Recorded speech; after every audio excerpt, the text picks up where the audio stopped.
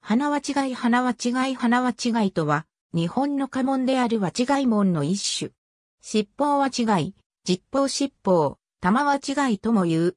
尻尾の中に峠を入れたもので、尻尾門の尻尾に、東花と同一の門である。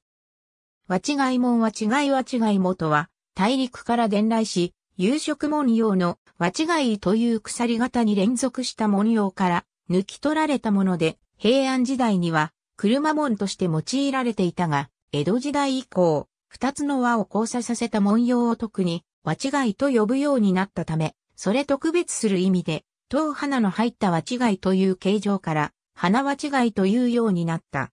ちなみに、和違い門と同様の図案である、金和門は、五徳の輪を図案化したものであり、和違い門の輪より細く描かれる。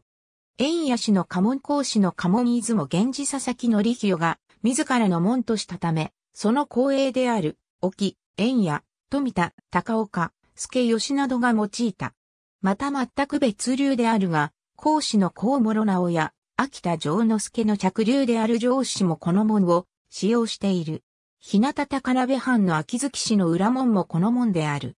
和違い文様尻尾つなぎ和違いという文様は、いくつもの輪を交差させたものを言い、有色文様では同様のものを尻尾とも言う。花は違いの塔花を取り除きつなげたものを尻尾つなぎという。古くは四方出す木という呼び名もあり、その四方が尻尾へと変化したという。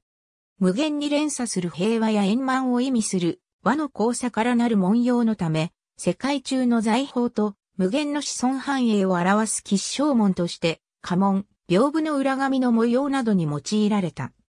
尻尾つなぎの種類は、尻尾の中央に花を入れたものを、花尻尾、鳥と花火師を組み合わせて七方行にしたものを、取り出す木、いくつかがつながった形で、部分的に用いたものを、破れ尻尾と言い、他に、星尻尾というものもある。